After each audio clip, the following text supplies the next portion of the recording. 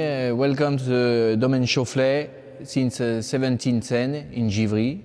We have 14 hectares, uh, 1.5 in Pr- Givry Premier Cru Les Galafres in white, uh, 1 hectare in Clos Jus uh, Premier Cru, and 4 hectares in uh, Anchouet Premier Cru red wine. The other is a, uh Givry Rouge and Giv- uh, Givry White and Givry Red uh, village. We produce uh, more or less between 70 and 80,000 bottles per year.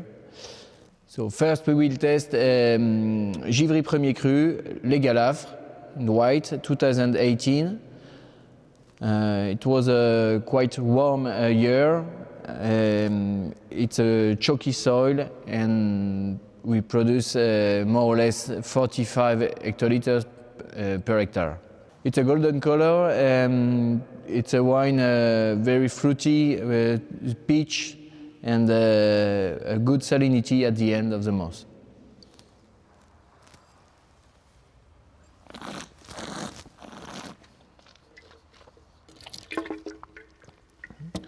There is a good tension. You can drink it uh, now and wait between three and five years uh, with any problem.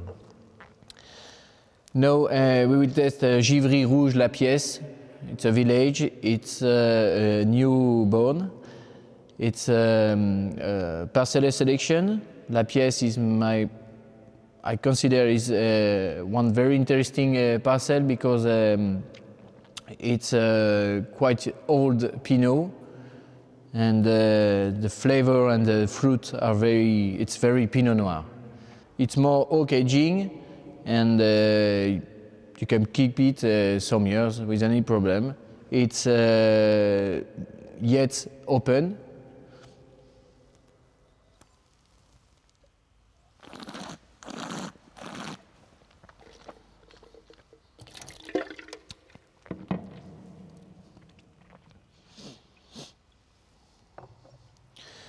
And now we will test uh, Givry Premier Cru En Choué 2018.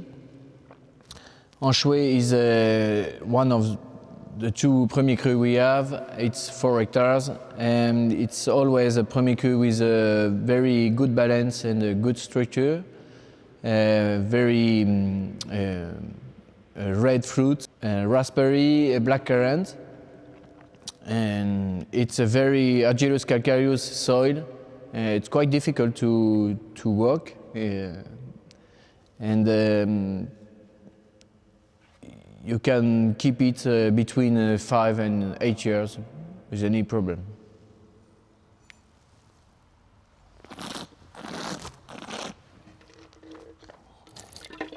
I always search um, to keep the fruit in my wine. I don't want to be too too much oaked.